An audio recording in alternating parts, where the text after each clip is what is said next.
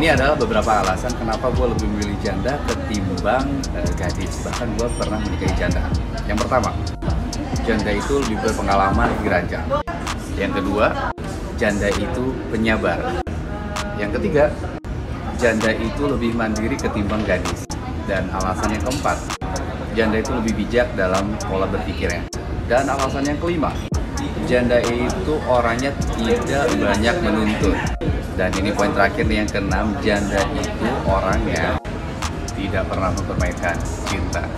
Ya itulah alasan kenapa gua lebih menyukai janda ketimbang gadis. So, salam buat para janda.